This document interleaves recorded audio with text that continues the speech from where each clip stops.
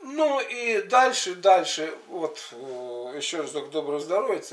Просто-напросто я продолжаю, чтобы, знаете, видео то, как бы сказать, не, разбавлять э, разной тематикой. Вот пишу, вот, вот такие вот, знаете, э, комментарии. Петрович, а где можно купить осветленный керосин? Не знаю, где можно купить осветленный керосин начиная от э, Тадикампа там и так далее. Это через интернет, осветленный керосин, осветленный. Э, он не осветленный должен быть. Он должен быть этим самым э, обыкновенным керосином, которым заправляют вот эти все керосиновые эти лампы, как-то он называется. Вот теперь еще вопрос по очистке печени. Пользователь, начистка печени каменновалом, пользователь. Вы задрали, спасибо, да спасибо. Спасибо, да спасибо, и все там пишут, да. Есть кто реально прошел курс этого, пишите, остальные лесом. Ну, я написал столько описаний и в книгах, и в видосах, столько отзывов, и все мимо. Я не знаю, что вы смотрите, что вы читаете, или вам надо вот конкретно.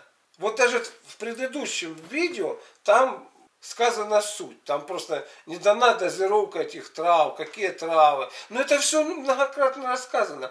То есть получается, что, знаете, вот э, одно и то же. Толдунь, толдунь, толдунь. Ну а вы, вы, что вы? Ну и вам надо сто, столько видео, столько книг. Э, нашли, почитали. Если мне что-то надо, я тут, знаете, все переверну и, и найду. Значит, это вам так надо. Далее, очищение кишечника, разъяснение, квашеная капуста пойдет. Ну попробуйте, квашеная капуста, попробуйте. Опять-таки тут э, потом вопросы падают, а сколько ее съесть, а какой там курс, а как она квашена должна быть. Да попробуйте, квашеная капуста пойдет. Так, знаете, вот пойдет. Так, как приобрести вашу книгу? Следующий вопрос. Я уже как-то говорил, Э, что книги у меня в основном в электронном виде, что я давал э, почту свою, в конце концов, электронную. Вот найдите, где я ее там давал. Постоянно я должен ее выкладывать. И меня же, знаете, э, есть этот самый эм, в Word тут текст уже с этой самой, с электронной почты. Я, грубо говоря, там его там вставляю. Ну вы хоть что-то, хоть что-то сделайте. Потом пошли, здравствуйте, Петрович, а при бронхиальной астме и мокрота слиз, и прозрачный горле, вот так я читаю, как написано, и ангина, керосин может помочь? Очень прошу ответить это на видос керосин Тадикам. Я написал, а вы попробуйте и узнаете. Вот просто-напросто попробуйте и узнаете, что, что, как, чему. Можно, знаете, сказать, да, поможет или еще там что-то такое. А, э, при этом не зная, насколько человек э, поражен бронхиальной астмой, сколько там у него мокроты, слизи, э, ангина, насколько там у него это все. Поможет, не поможет. И знаете, вот опять-таки, я вам рассказываю и сам, вы стараетесь не что-то использовать. Ну да, на, на каком-то начальном этапе, там, допустим, анаина или еще, можно использовать вот эти все эти средства, там, керосин и прочее, прочее, прочее, прочее. Но это следствие. Вы уже своим образом жизни э, ввели себя так, что вы уже заполучили и бронхиальную астму с мокротой, слизью, и какой-то там с прозрачным горле, и ангину. То есть вы уже получили этот букет. Вопрос, это следствие, вопрос в причинах. Знаете, а как вы этот букет нарвали в течение жизни? Что вы делали, что у вас появилась ангина? Что вы делали, что у вас появилась э, бронхиальная астма, слизь? как, как, какое ваше питание, какие ваши условия, что вы там делаете и, и так далее. Я всегда говорю, меняя образ жизни, мы с вами можем как избавиться от тех или иных заболеваний. Просто условия им э, не создаем. Так точно, создавая условия, вот я, допустим, сейчас начну булочками объедаться, пивку там пить и сидеть, ничего не делать, не ходить там, не это, я заболею. То есть образ жизни делает человека здоровым или больным, без всяких, знаете, каких-то панацей. Вот это лекарство, вот это еще что-то, вот это еще что-то там такое. Голова, когда светлая, то человек здоров и процветает. А если она не, свет, не светлая, она, она напичкана, знаете, разного рода какой-то э, информация, которая ну просто, возможно, интересно. У того-то такие сиськи, у того-то такая писька. Тот-то что-то там сделал, тот-то что-то сделал. Тот нырнул, тот достал, акула приплыла там. На свадьбу подарили 23 килограмма золота. Вот, вот, вот эта информация, забита голова. Уже от, одной, от, от одного этого мусора человек может заболеть. Так, на видео, кто ищет, тот спасется. Спасибо вам за ваш труд. Ваши книги должны быть в каждой семье как на настольные и передаваться по наследству. А вот, видите, не получилось. Так хорошо. В 90-е годы, будем говорить, э, бум был. А сейчас вроде как не нужны. Читать особо не хотим. Да, не нужны. И, и, и все. И бродят, знаете, потерянные люди вот так вот по интернету, спрашивают, а вот это поможет или не поможет. Вместо того, чтобы попробовать там разобраться. Знаете, вот я всегда, ну, да, не хочу сказать, что я даю рекомендации по тому или иному там заболеванию, но я если э, какое-то заболевание, меня всегда волнует, как оно развивается, э, в какие условия способствуют тому, что возникает это заболевание, и, и, а не то, что там это. И зная вот это, я уже понимаю, что надо делать, какое лечение, будем говорить, предлагать. А не зная всего этого, человек будет есть шоколад килограммами, будет еще там что-то там делать и при этом э, надеяться на керосин, что он там, грубо говоря, излечит там астму. Так, долгих лет и крепкого здоровья вам, низкий поклон, благодарю. Ну и еще давайте одно почитаем и на этом закончим. Выжить любой ценой, голод, урина. Пользователь один день назад пишет, мне довелось стать невольным свидетелем лечения рака четвертой стадии с метастазами по всему организму у мужчины, которого выписали из больницы умирать домой. Занесли на носилках. То есть, э, вот здесь пример, что делать человеку.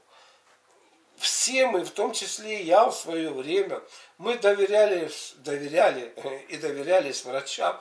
Вот, пожалуйста, я заболел, да, вот э, полечите меня, что вы там это. Ну, лечение не принесло никаких э, по научной медицине, никаких результатов. И что человеку делать? Вот что ему делать? Вот вынесли умирать и все. Что делать? Лежать и дожидаться? Некоторые так и делают. Некоторые там в больницах помирают. Что делать? Либо же попробовать, попробовать. Есть же такой вариант. И это не возбраняется человеку в этом случае что-то такое предпринять, чтобы там, обрести там, здоровье, выздороветь или хотя бы протянуть э, дни своей жизни. То есть это право человека на жизнь в конце концов, которое вот не должно быть отнято. Ну попробовали, то не получилось, ну тогда это. А тут получается, о, это не делает, а это, это, это, это самое. А что делать? Умирать или что делать? Итак, а его соседка была знающей. У нее была книга на тему уринотерапии, голодания. Она предложила мужчине эксперимент. Ну, мол, а что делать? Ну вот давай попробуем, а вдруг? и помощь свою, понимая, что выбора нет, он согласился. То есть человек даже, видите, он и понимает, он бы это и не делал бы вообще-то, но вот стоит ребром, либо что-то получится, либо ничего не получится. И ты благополучно скончаешься, да? Это было в Магаданской области. Учи, уже через три месяца, то есть три месяца своеобразно, ну скажем так, лечение, которое предложила эта женщина. Через три месяца он расчищал весь двор от снега лопатой и водил машину по деревне. Врачи же сказали, что ошибочный диагноз поставили. Ну, хорошо. И вот таких, знаете, ошибочных диагнозов ставится огромное количество. Вот говорится, что вот это, вот это, вот это, то-то, то-то, то-то, то. И начинается, естественно, вот это вот лечить того, чего нету. И, грубо говоря, знаете, грубо говоря, ну, вылечится, скажем, о, хорошо, мы тебя вылечили. Не вылечится, помрет человек, ну, мы сделали все, что могли. И когда вот расписывается в собственном э, бессилии, тогда начинаются вот какие-то вот придумки, что диагноз не тот, или еще что-то, или еще что-то еще. И просто, знаете, удивляешься при современной вот э, диагностической вот этой вот науке, когда там тебя уже исследуют, грубо говоря, чуть ли там не, не на хромосомном, на генном уровне, что там рак у тебя не рак, еще там та-та-та-та-та-та-та. И вот так сказать, вот говорили, да, это рак, а теперь нет. Ошибочный поставили. Хотя после выписки с больницы ему уже кололи наркоту от боли после выписки. То есть, чтобы человек ушел там нормально, грубо говоря, без боли, не орал там, не это. Понимаете? Задний ход дают и при этом никакой ответственности не несут. Ну что, когда начал, начали голод на урины и растирание всего тела упарины, от, наркос, от наркоты вскоре отказались. Значит, голодание на урине, растирание всего тела упарины. Об упаре на урине народ узнал только от меня в России. Вообще про упаренную урину рассказывал Махадев, бог богов Шива. И я узнал от него и вот передал вам, что можно использовать упаренную урину, она еще лучше действует. Голодание по-особому действует на организм человека. Урина по-своему воздействует. Упаренная еще по-своему воздействует. И, пожалуйста, если все это грамотно сделать, действительно. Вот такие вот вещи. Ну, далее такие вопросы. На место ушибов и переломов тоже можно ставить глиняные аппликации. Знаете, насколько здесь, насколько э, большой ушиб, насколько э, серьезный перелом. А то можно, вот такой, знаете, вопрос создаю, э, задается, что, мол, да, вот, грубо говоря, там э, кость надо собирать по этим крупицам. Да, глиняная катаплазия и все, мол, это само, само там заживет. Но вы же опять-таки соображайте, что, что, как.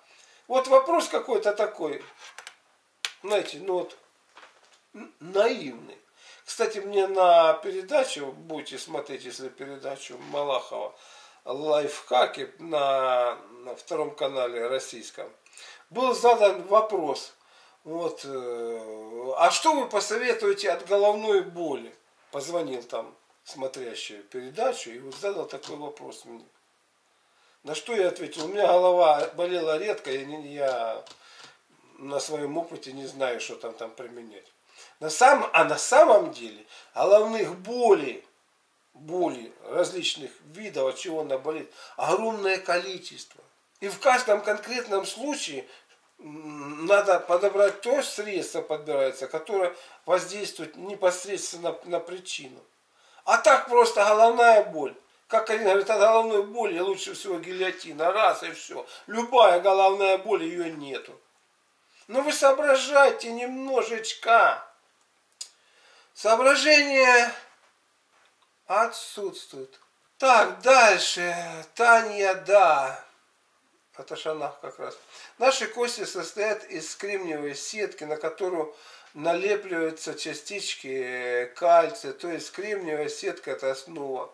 Без ее кости становятся ломкими, непрозрачными и непрочными, так как кремний придает костям упругость и гибкость. Ну хорошо. Источник кремния это глина пищевая, принимаемая вовнутрь. Ну, надо найти глину пищевую вовнутрь, чтобы это самое. И еще, знаете, вот такой вопрос, глина пищевая, принимаем вовнутрь. Мы вот все думаем, что если что-то вовнутрь забросим, то оно непременно э, пойдет туда, куда мы считаем нужным. Это вот меня, знаете, что еще удивляет, так немножечко отвлекусь, это то, что пересадка костного мозга.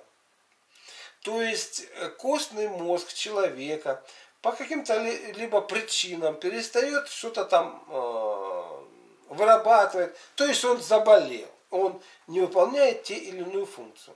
Так вот, значит, э, пересадка костного мозга, это когда, э, допустим, там от донора тем или иным образом возьмут этот костный мозг, а скорее всего, его знаете, как, как это самое, пересадка, берут просто-напросто кровь здорового человека, ее там сгущают, и потом через вену вкалывает, и считается, что вот эта вот э, кровь, она войдет, значит, в костный мозг, и как-то его омолодит или вылечит.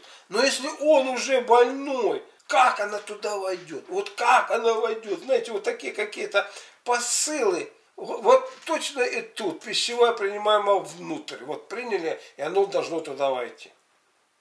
Организм быстро э, наполняется кремнием.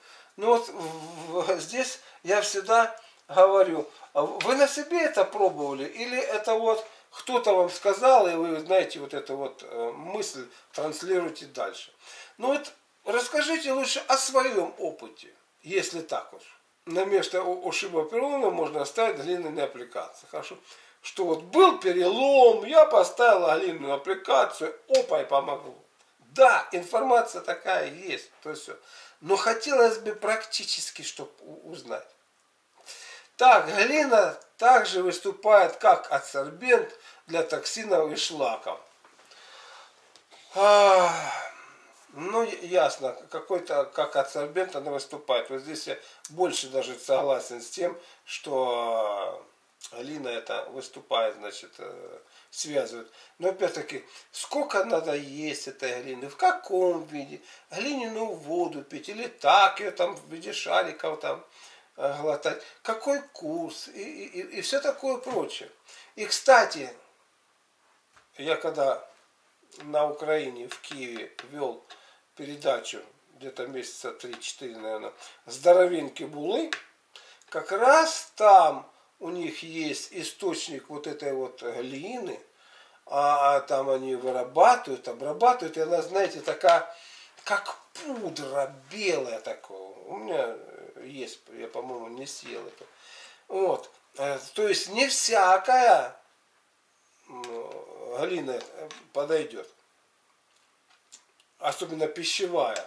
Как ее там надо обработать, что надо сделать не так все просто. В виде катаплазии так.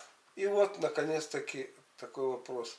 У меня камни желчные, пузыря, полный, но маленький. Как избавиться от них? Смотрите, читайте. Тот же этот э, посетитель пишет. Я уже два дня, два дня пью сода гашеный, и мне хорошо. Скажите, таким способом можно чистить печень? таким способом. То есть пьешь соду ашону, ведь и печень будет чиститься. Я, ваше лечение, поклонник, прошу ответить. О чем мне отвечать? Вот, опять-таки, описаны книги, различные варианты, описаны примеры. Вот они видосы, вот так, вот они камни, вот это все. И вот еще что-то там такое. учитесь работать самостоятельно. Ну, я думаю, что нормально набрали на два видосика полноценных. И еще хочу вам сказать, э, значит, на российском канале программа Андрея Малахова, будет там какая-то там лайфхаки, я так понимаю, для здоровой жизни. Вот следите за расписанием. Где-то, я думаю, в течение ближайших двух недель она появится, и вы посмотрите, кому интересно.